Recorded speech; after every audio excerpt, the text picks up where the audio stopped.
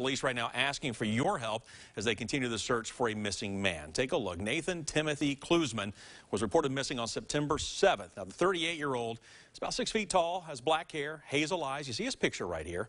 Morristown Police wants to stress Klusman is not wanted for a crime. Police and acquaintances just want to confirm that he's okay.